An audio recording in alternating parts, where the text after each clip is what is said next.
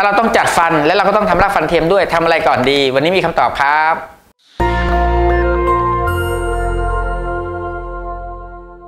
สวัสดีครับ หมอตี้นะครับผม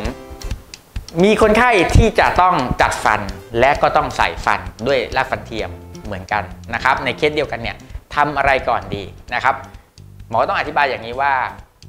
ถ้าคำตอบของหมอเลยเนี่ยก็คือเรียกว่าร้อยละ99เนี่ยเราควรจะต้อง จัดฟันให้เสร็จก่อน หรือใกล้จะเสร็จแล้ว ถึงจะทำรากฟันเทียม เหตุผลมันมีอย่างนี้ครับ เพราะว่าในการเคลื่อนฟันแน่นอนครับ จัดฟันคือหมอจะใช้อุปกรณ์ในการเคลื่อนฟันฟันของเราก็จะเคลื่อนไป แต่รากฟันเทียมเป็นสิ่งที่ถ้าเราใส่เข้าไปในกระดูกแล้ว รากฟันเทียมจะไม่สามารถเคลื่อนได้ ดังนั้นถ้าเราใส่รากฟันเทียมเข้าไปก่อนนะครับ แล้วการจัดฟันเนี่ยไอตัวรากฟันเทียมเนี่ยก็จะเป็นปัญหาแล้วเพราะว่ามันขยับไม่ได้ บางทีใส่ไปก่อนพอจัดเสร็จอ้าว ตำแหน่งที่ใส่รากฟันเทียมไม่ตรงนี่ ฟันภาพออกมาจัดเสร็จแล้วรากฟันเทียมมันไม่ควรจะอยู่ตรงนี้อย่างเงี้ยมันไม่ถูก ดังนั้นเนี่ยบอกได้เลยร้อยร้อยละ99ควรจะต้องจัดฟันให้เรียบร้อยก่อน หรือให้ใกล้ๆที่จะเสร็จก่อนนะครับแล้วถึงจะไปทำรากฟันเทียม แต่อีกหนึ่งเปอร์เซ็นที่หมอเผื่อไว้คืออะไร ในบางกรณีครับ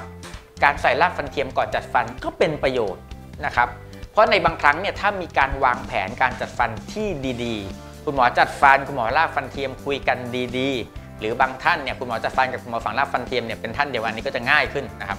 คือ ในกรณีบางเคสจัดฟันเนี่ยนะครับ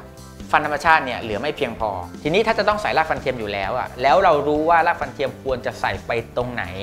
นะครับใส่ไปตำแหน่งที่จินตนาการนะครับภาพให้ออกว่าจัดฟันเสร็จแล้วฟันจะอยู่ตรงไหน เราจะใส่รากฟันเทียมไปตำแหน่งที่มีประโยชน์คือรากฟันเทียมตัวนั้นนะครับจะถูกใช้เป็นเสาหลัก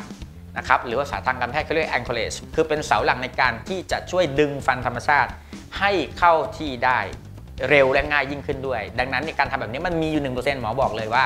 มีในชีวิตหมอก็มีหลาย ๆ เคสที่หมอทำแบบนี้ เราใส่รากฟันเทียมไปก่อนเลยนะครับแล้วเราใช้รากฟันเทียมตัวนั้น เพื่อประโยชน์หลักในการจัดฟันด้วยพอจัดฟันเสร็จเราก็สามารถใส่ครอบฟันบนรากฟันเทียมตรงนั้นได้ ตามตำแหน่งที่เรา plan ไว้ล่วงหน้าอย่างดีแล้วนะครับการโดยสรุปนะครับส่วนใหญ่คือควรจะต้อง จัดฟันให้เสร็จก่อนแล้วใส่รากฟันเทียม ยกเว้นบางกรณีเท่านั้นที่จะใส่รากฟันเทียมก่อนได้ เจอกันใหม่นะครับ ในคลิปหน้าเกี่ยวกับเรื่องของฟันและรากฟันเทียมกับหมอตี้นะครับ วันนี้ไปก่อนนะครับ สวัสดีครับ